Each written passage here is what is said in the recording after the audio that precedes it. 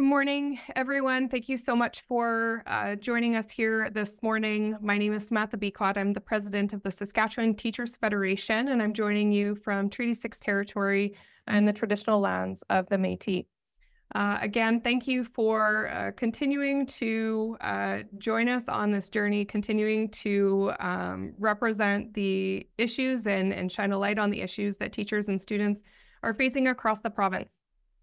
The Saskatchewan party government is continuing to refuse to engage in good faith bargaining, and they are acting as if they can ignore this dispute and it will simply go away. Their decisions have created this problem. Through the last two rounds of collective bargaining, we saw government push the issues of class complexity to committees. Teachers knew this was a way that they were trying to avoid solving the issues that students and teachers are facing in classrooms across our province and we cannot wait any longer to have these issues addressed. We have seen a generation of kids impacted by the decisions government has made and the lack of supports available in schools. While bargaining remains at an impasse, we do actually agree with government on at least two things. First, we've heard the Minister of Education acknowledge that class complexity needs to be addressed, and that another committee isn't the place for that. This is a shift from their position that we have seen over the last seven years in the last two rounds of collective bargaining. If this minister and this government are really committed to addressing class complexity, we wonder why they're so hesitant to enshrine that into agreement with teachers and school divisions. The second thing that we agree on is that our province is very diverse. There are unique challenges in each of the school divisions and each of the schools across our province. The decisions around how to best support students are best made at the local level. But those decisions are also strengthened when teacher voice is included in that process. School divisions need assurances that they will have the funding available to meet the needs of students in their schools. But they also need to be listening to teachers in that process and ensuring they're accurately understanding the impacts that class complexity mm-hmm. are having in classrooms that they serve.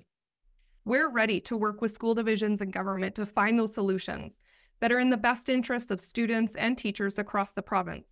But we cannot continue to bargain with ourselves. We'll happily return to the bargaining process as soon as we hear that the government trustee bargaining team has been empowered by government to begin negotiations. When we had last inquired, the GTBC hadn't received new instructions for bargaining. The minister can call me at any time. I have said that before publicly and the chair of our bargaining committee can communicate with our chair to let us know that they're ready to take this process seriously. Yesterday, we announced a second full day rotating strike taking place on Wednesday, February 7th in the following areas all of Creighton School Division, all of Northern Lights School Division, all of Prairie Spirit School Division, all of Greater Saskatoon Catholic School Division, and all of Saskatoon Public School Division. As well, the Conseil d'École fransaskoises schools within the geographic boundaries of the school divisions that I mentioned, and the Saskatchewan Distance Learning Center teachers who work at schools or regional campuses within the geographic boundaries. Today, we are also announcing a province wide withdrawal of noon hour supervision on Thursday, February 8th. Teachers will be leaving their buildings during their scheduled noon hour. Teachers often, and all teachers, provide many supports over their lunch break. These services are voluntary as they're not part of their professional responsibilities of teachers that are legislated in the Education Act. Ensuring student safety is a school division responsibility. School divisions create plans ensuring students are supervised, often relying on teachers to provide this service, but there is no requirement that the supervision is provided by teachers. Teachers also provide extra services that are voluntary as well. They provide extra help for students who need a little bit more support in their instruction. They provide uh, support for noon hour intramurals. They plan activities. They have extracurricular activities that happen over the noon hour, as well as they complete planning and preparation for instruction. Government has provided us with a take it or leave it offer. Offer, and after nine months of negotiations, and conciliation and job action from teachers, they have not engaged in any negotiations and remain firm on that opening offer. Their disengagement in the process is absolutely disrespectful to students and teachers, and it shows their lack of commitment to address these issues in the long term. We recognize that these job actions impact students and their families, but it doesn't have to be this way. Teachers don't want to be taking these actions. So I want to thank everyone the support for the support that has been shown throughout January and now into February. We've seen tens of thousands of emails been sent to MLAs and Minister of Education and the Premier of Saskatchewan. If you are concerned, and I'm a parent, I am concerned too, please continue to reach out to your MLA and your school board trustees. Students and teachers deserve to know that their learning and working environments will see improvements, not just in one time pilots, but in long term commitments that support all students and teachers across Saskatchewan. So thank you for joining me today. I'd be happy to take uh, some questions if you raise your hand. I see Alec. Hey there. Uh, I guess just start with uh, when did you last reach out to the GTBC? Uh, our last communication with the GTBC was uh, last week or the end of the week prior, I believe. Okay. Um, and, and I suppose the withdrawal of noon hour supervision for one day, and now rotating strikes um, happening as well.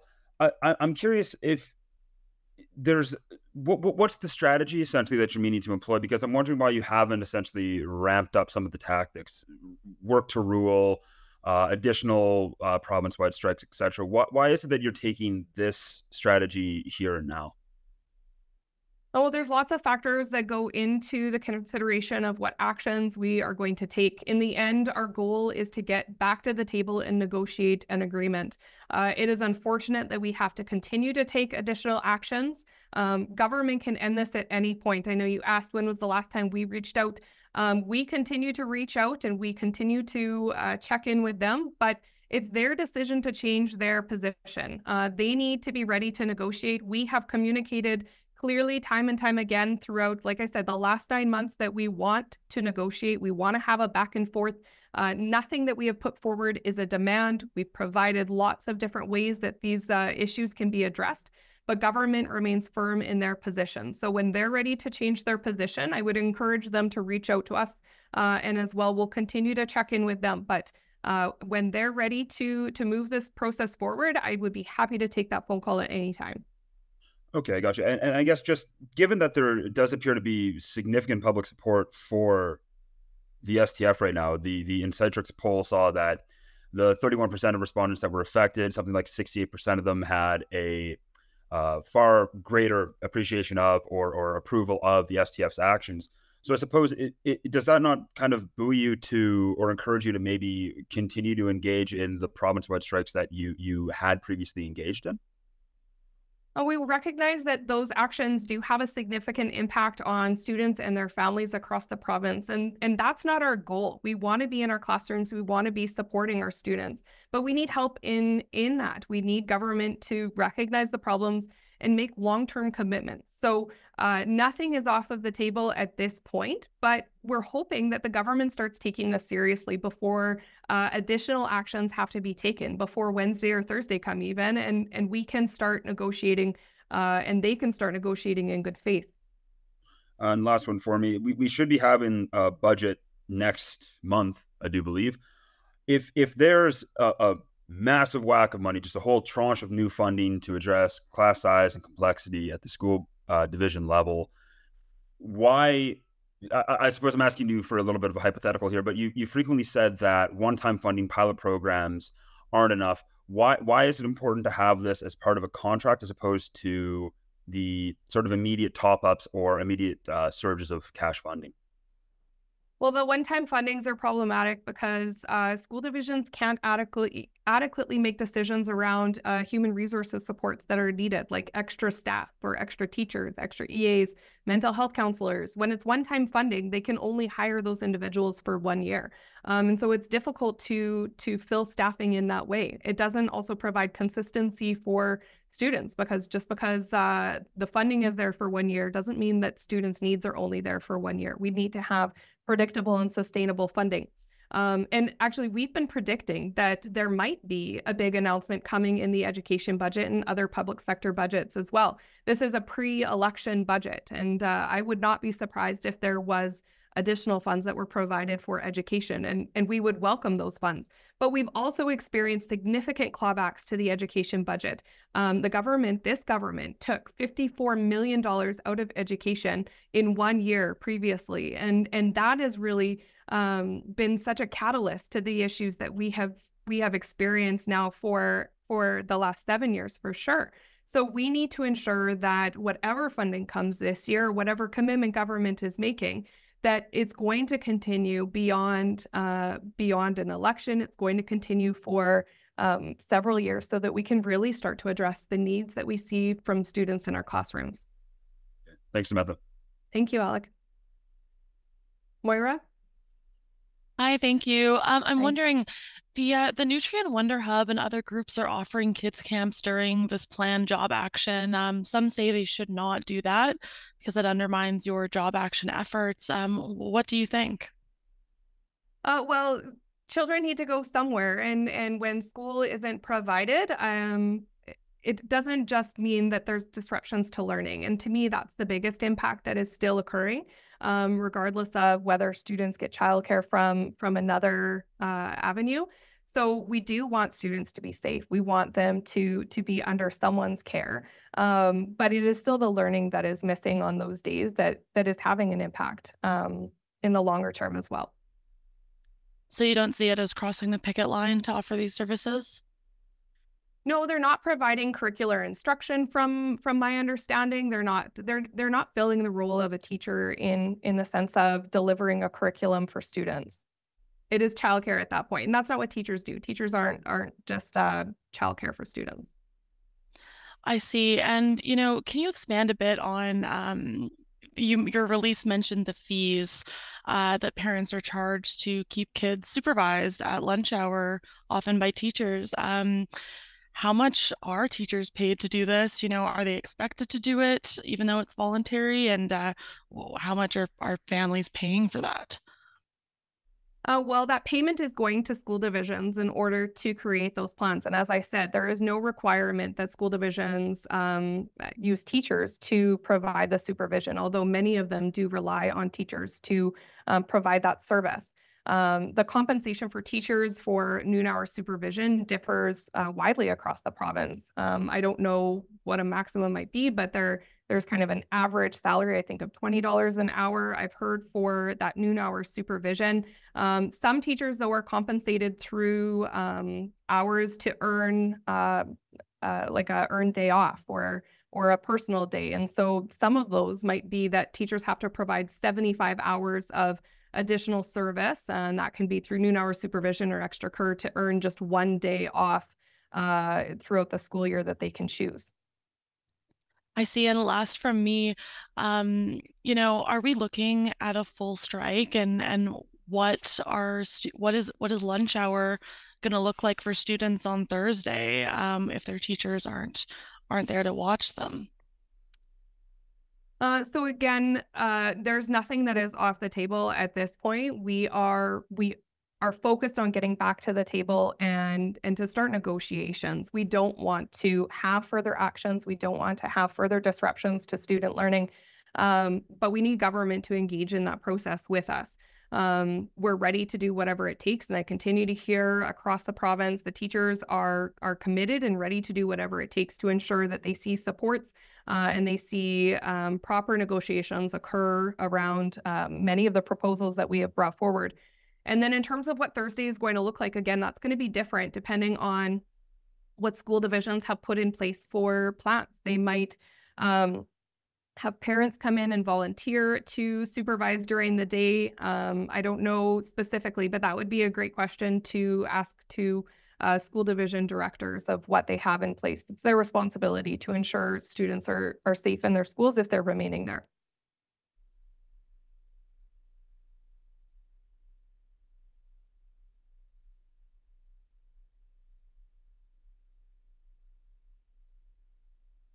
Alec?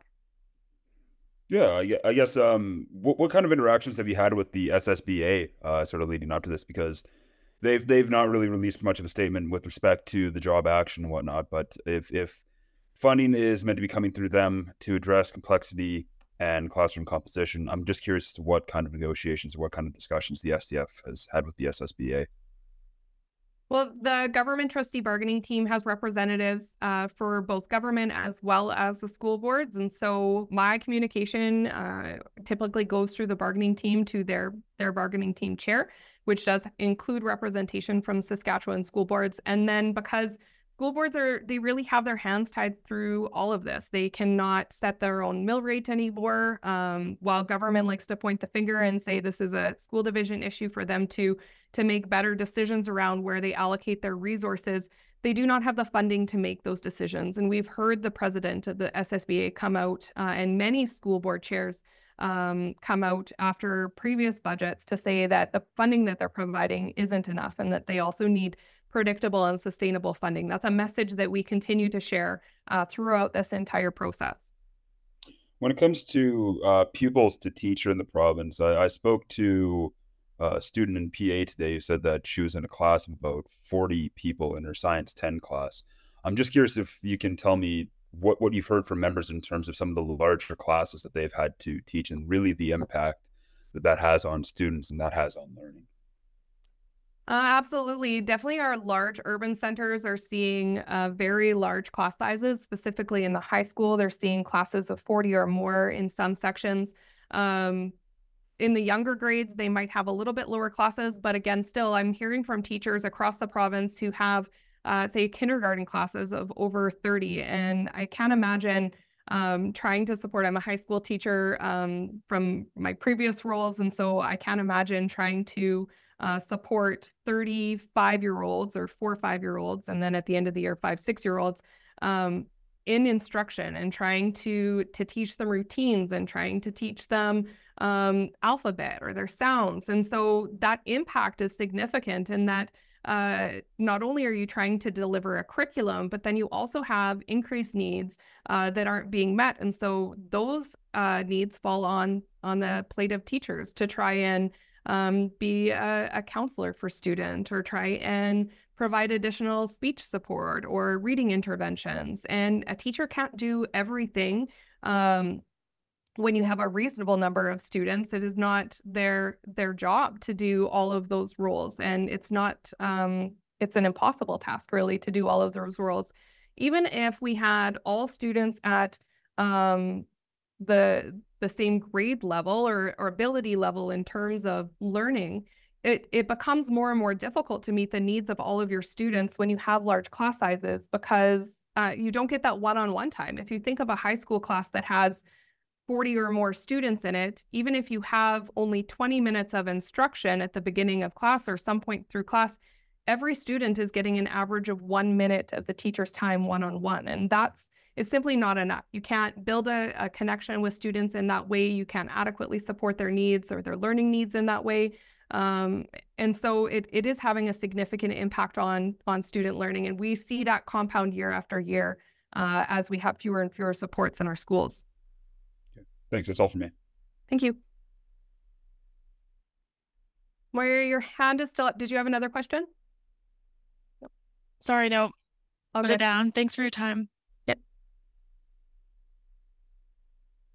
Okay, so not seeing any other questions and I don't see anything in the chat. So again, just wanted to thank everyone for joining us here today. Again, shining a light on uh, the issues that teachers have been talking about over the last several years, uh, the issues that have a significant impact on our, our students as teachers and as parents across the province, our children. We want what is best for them and we want what is best for the future of Saskatchewan. So uh, from our perspective, there is no better investment that this government can make than in our children. They have not raised the issue of uh, funding, and actually, if you look at their messaging, uh, Saskatchewan is is doing significantly well compared to other other provinces and definitely other times. So if at a time of prosperity we're not investing in our children, I wonder when this government will ever do it. Uh, we need to have assurances that we will see proper funding for public education, uh, not just one year, but for years to come, so that we support all generations of kids as they go through our public schools.